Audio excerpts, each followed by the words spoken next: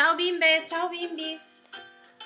Allora, abbiamo eh, letto eh, la storia Il giardino di Matisse, dove abbiamo visto le opere che realizzava questo famoso artista francese.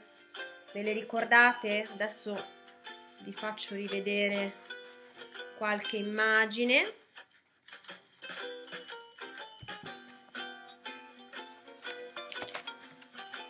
Vi ricordate queste forme che disegnava Matisse?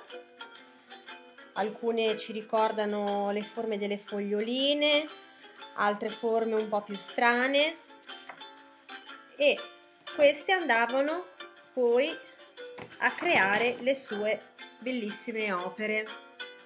Allora oggi proviamo insieme a creare il nostro quadro di Matisse. Ok, questo è quello che ho creato io. Adesso vi eh, do tutte le indicazioni per crearne uno simile.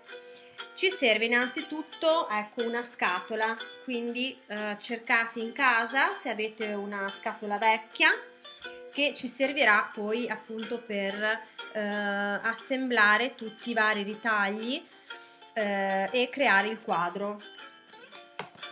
Oltre alla scatola ci servono dei fogli bianchi a 4, dei pennarelli colorati oppure se non avete i pennarelli eh, o vi piacciono di più anche le tempere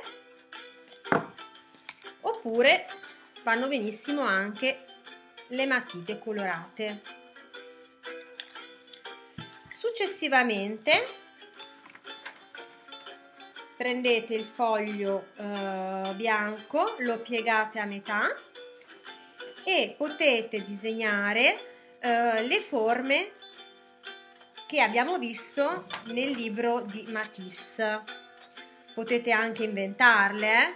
vi potete far aiutare da chi vi sta tenendo compagnia in questi giorni a casa, dai vostri fratelli, dalle vostre sorelle. Ok? Una, una volta che avete disegnato eh, le forme, le colorate,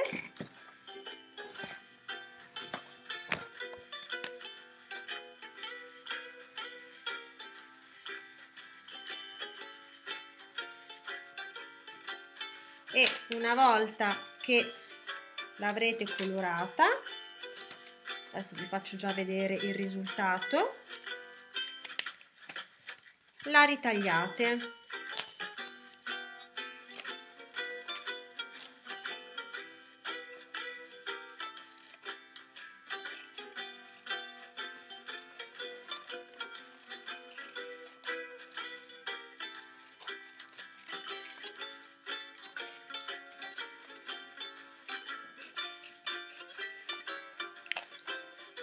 Oh, mi raccomando, lo scarto non lo andiamo a buttare perché ci servirà anche questo per realizzare il nostro quadro.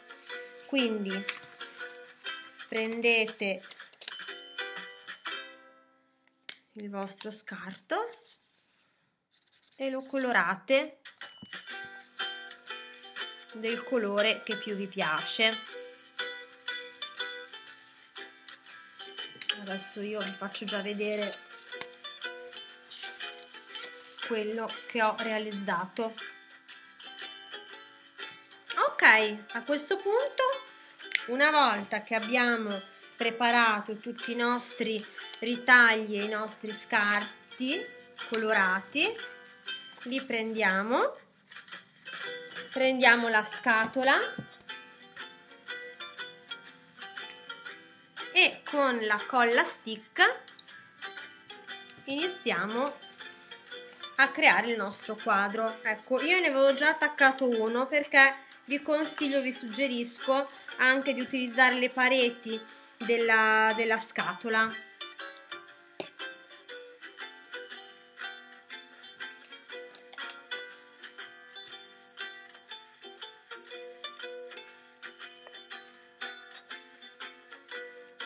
Qui naturalmente